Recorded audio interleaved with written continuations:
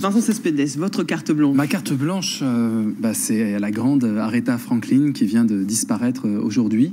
Euh, immense artiste soul et j'étais j'étais dans sa chanson. J'étais pris, envoûté par I Say a Little Prayer for You.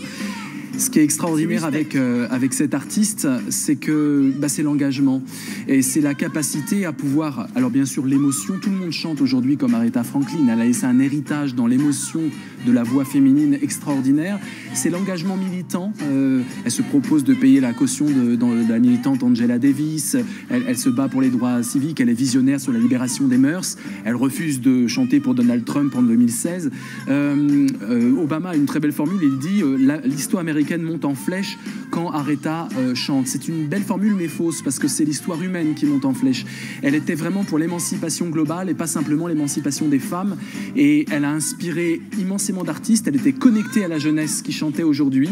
Elle, a fait des, chansons avec Puff Daddy, Lauryn Hill et autres. Et donc euh, Gainsbourg disait que c'était euh, un art mineur, la chanson. Je pense que Aretha Franklin dément Gainsbourg et a hissé la chanson au rang de l'art majeur capable de changer l'époque. Merci, merci à tous d'avoir participé euh, à 24, au club L'Info en question. Restez avec nous, l'info continue sur LCI.